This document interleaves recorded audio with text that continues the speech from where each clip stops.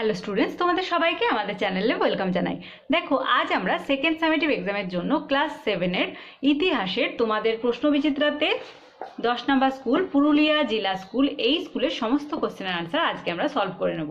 ক্লাসটি শুরু করার আগে অবশ্যই বলব, যারা এখনও পর্যন্ত চ্যানেলটি সাবস্ক্রাইব করনি, তারা অবশ্যই চ্যানেলটি সাবস্ক্রাইব করে নাও এবং পাশে থাকা বেল আইকন প্রেস করে রাখো, যাতে করে আগামী দিনের সমস্ত ভিডিও সবার আগে তোমাদের কাছে পৌঁছে যায়। তাহলে চলো দেরি না করে আজকে ক্লাসটি শুরু করি। আজকে ক্লাসের ফার্স্ট কোশ্চেন দেখো।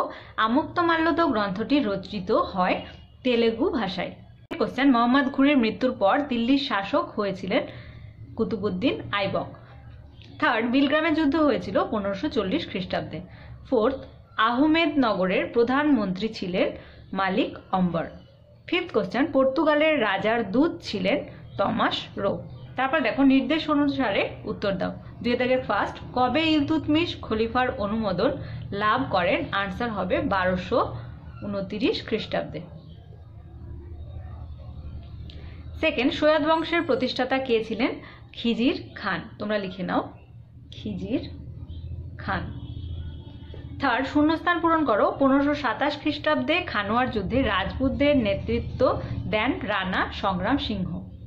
তোমরা লিখে নাও। তারপর ফোর ঠিক বা ভুল লেখো, আকবরের প্রধানমন্ত্রী ছিলেন মহেশ দাস বা বীরবল। এটা ঠিক। আমি এখানে রাইট দিলাম। ফিফ, চিরাগি দিল্লি নামে কে পরিচিত? শেখ নাসির উদ্দিন। তোমরা লেখো। তারপর দেখো তিনে দাগের ফার্স্ট কোশ্চেন সিজদা ও পাইবাস কি? আনসার লিখবে। দিল্লির সুলতানি গিয়াসুদ্দিন বলবন তার দরবারে সিজদা ও পাইবাস প্রথা চালু করেছিলেন, অর্থ সিজদা। সিজদা প্রথার অর্থ সুলতানের সামনে নতজানু হওয়া পাইবাস পাইবাস প্রথার অর্থ হলো সুলতানের পদযুগল চুম্বন করা। আসলে এগুলি ছিল সুলতানের চূড়ান্ত ক্ষমতার প্রতীক। প্রবর্তনের কারণ রাজতন্ত্রের মর্যাদা বৃদ্ধি। সুলতান দিল্লি সুলতানের মর্যাদা বৃদ্ধির জন্য সিজদা ও পাইবাস প্রথা চালু করেছিলেন। পারস্যের অনুকরণ সিজদা ও পাইবাস ছিল পারস্যিক প্রথা। গিয়াসুদ্দিন বলবন নিজেকে পারস্যের এক কিংবদন্তি নায়কের বংশধর বলে ভাবতেন। তাই তিনি এগুলি প্রচলন করেন। তারপর দেখো সুলহ ইকুল বলতে কি বোঝো? আনসার লিখবে সুলহ ইকুল বলতে বোঝায় সকলের প্রতি সহনশীলতা ও সকলের মধ্যে শান্তিপূর্ণ সহাবস্থান। এই আদর্শের ভিত্তিতে আকবর একটি ধর্মমত গড়ে তোলেন, যা দিনী ইলাই নামে পরিচিত। পরীক্ষায় কিন্তু দিনী ইলাইও আসে ওকে তো নামটা চেঞ্জ করে দেবে। তাই তোমরা ঘাবড়ে যাবে না। সুলভকুল আদর্শ, মুঘল সাম্রাজ্যের প্রশাসনিক আদর্শ ছিল বিভিন্ন গোষ্ঠীর মানুষের সহযোগিতা একটি যথার্থ ভারতীয় সাম্রাজ্য গড়ে তোলা। মুঘল বংশের শ্রেষ্ঠ সম্রাট আকবরের আদর্শ ছিল বাদশাহ ঈশ্বরের ইচ্ছায় দেশ শাসন করবেন সেকেন্ড প্রজাদের সঙ্গে পিতৃসুলভ আচরণ করবেন এবং থার্ড তিনি কোনো ব্যক্তি বা গোষ্ঠীর প্রতি পক্ষপাত করবেন না। দেখো হুন্ডি কি? আনসার লিখবে, হুন্ডি হলো এক বিশেষ ধরনের ও বিভিন্ন মূল্যের কাগজ, যার মাধ্যমে এক জায়গা থেকে অন্য জায়গায় টাকা পাঠানো যেত। মধ্যযুগে ভারতে হুন্ডি ব্যবস্থা চালু হয়েছিল। হুন্ডি ব্যবস্থার ধরন, মধ্যযুগে ভারতে কাগজের ব্যবহার শুরু হয় এই সময় শরাব নামে এক শ্রেণির অর্থ ব্যবসায়ীরা বণিক এদের কাছে থেকে ধাতু মুদ্রা নিয়ে তার কাগজের হুন্ডি দিত। ওই হুন্ডি দিয়ে বণিকরা অন্য জায়গায় নির্দিষ্ট পরিমাণ মুদ্রা নিতে পারত। ফল হুন্ডি ব্যবস্থা প্রচলনের ফলে বণিকদের এক জায়গা থেকে অন্য জায়গায় টাকা পাঠানো অনেক নিরাপদ ও সহজ হয়েছিল। তারপর দেখো, চারিদিকে টিকা জিজিয়া কর ও তুরস্ক দণ্ড। আনসার লিখবে, তুরস্ক কথাটি এসেছে তুর্কি শব্দ থেকে, মুসলিম শাসকদের জিজিয়া করের মতো হিন্দু রাজারা তুর্কি বা মুসলমান প্রজাদের কাছ থেকে এক ধরনের কর আদায় করতেন। একে তুরস্ক দণ্ড বলা হতো। আর জিজিয়া করটা চেয়েছে, জিজিয়া কর লিখবে, মুসলমান শাসকরা অমুসলমান প্রজাদের কাছে থেকে জিজিয়া নামে এক বিশেষ ধরনের কর আদায় করত। এটি ছিল মাথা পিছু এক ধরনের কর। এর বিনিময়ে মুসলমান শাসকরা অমুসলমান প্রজাদের জীবন, নিজেদের ধর্ম পালন ও সম্পত্তির সঙ্গে সুরক্ষা প্রদান করতেন। তারপর দেখো, দাক্ষিণাত্য ক্ষত ও অরঙ্গজেবের পতনকে কতটা ত্বরান্বিত করেছিল? আনসার লিখবে, মুঘল সম্রাট অরঙ্গজেবের সময় দক্ষিণ ভারতের মারাঠাদের ক্ষমতা অনেক বেড়ে গিয়েছিল। অরঙ্গজেব দক্ষিণ ভারত জয় করে বেশি রাজস্ব আদায় করতে ও মারাঠাদের দমন করতে চেয়েছিলেন। বিজাপুর ও গোলকোন্ডা দখল, ঔরঙ্গজেব দক্ষিণ ভারতের বিজাপুর ও গোলকোন্ডা রাজ্য দখল করেছিলেন। মারাঠা সাম্রাজ্য দখলের চেষ্টা ঔরঙ্গজেবের মারাঠা সাম্রাজ্য দখল করতে গিয়ে ব্যর্থ হন দাক্ষিণাত্য ক্ষত ঔরঙ্গজেব দাক্ষিণাত্যকে নিজের অধিকারে আনার জন্য পঁচিশ বছর ধরে চেষ্টা করেছিলেন, কিন্তু সফল হননি। একেই দাক্ষিণাত্য ক্ষত বলা হয়। সতেরোশো সাত খ্রিস্টাব্দে এই দাক্ষিণাত্যে ঔরঙ্গজেবের মৃত্যু হয়। তারপর দেখো, মোগল শাসকরা কীভাবে ব্যবসা বাণিজ্যে উৎসাহ দিতেন। আনসার লিখবে, মুঘল সম্রাটগণ ব্যবসা বাণিজ্যে উৎসাহ দিতেন। প্রথমত সম্রাটগণ বণিকদের ব্যবসা বাণিজ্যের জন্য কুঠি বানানোর অনুমতি দিয়ে সহায়তা করতেন। সম্রাটগণ বণিকদের নিরাপত্তা দিতেন। এর জন্য তারা রাহাদারি নামে এক প্রকার কর আদায় করতেন। তাছাড়া তারা বণিকদের কাজে হস্তক্ষেপ করতেন না। দ্বিতীয়ত, সম্রাটগণ বণিকদের কাছ থেকে মাত্র টু পয়েন্ট ফাইভ থেকে ফাইভ পার্সেন্ট হারে শুল্ক নিতেন থার্ড মুঘল সম্রাটগণ প্রচুর রাস্তা নির্মাণ করেছিলেন। রাস্তার ধারে প্রচুর সরাইখানা বা বিশ্রামগার আর নির্মাণ করে বণিকদের সুবিধা করেছিলেন। তারপর পাঁচের দাগে আলাউদ্দিন খলজির বাজার দর নিয়ন্ত্রণ ব্যবস্থা সম্পর্কে আলোচনা করো। তোমরা তোমাদের টেক্সট বুকে ফিফটি নাইন পেজে এখান থেকে দেখো বাজার দর নিয়ন্ত্রণ, এখান থেকে এতটা লিখে দেবে সুলতান পর্যন্ত, ওকে?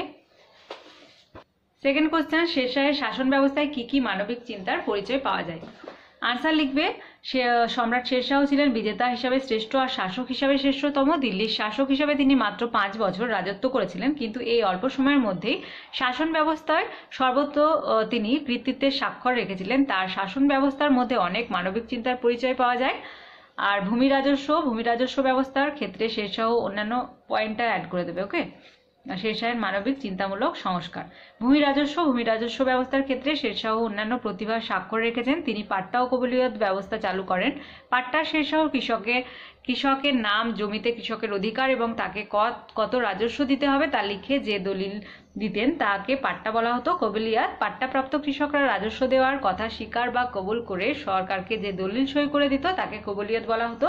বিচার সংস্কার, শেরশাহ পক্ষপাতহীন ও কঠোর বিচার ব্যবস্থা প্রবর্তন করেন। তিনি তার সাম্রাজ্যের মধ্যে একই ধরনের আইন ও দণ্ডবিধি প্রবর্তন করেন। সম্রাট স্বয়ং প্রতি বুধবার আপিল মামলার বিচার করতেন। অপরাধীকে শাস্তি স্বরূপ বেত্রাঘাত, অঙ্গচ্ছেদ এমনকি প্রাণদণ্ডও দেওয়া হতো।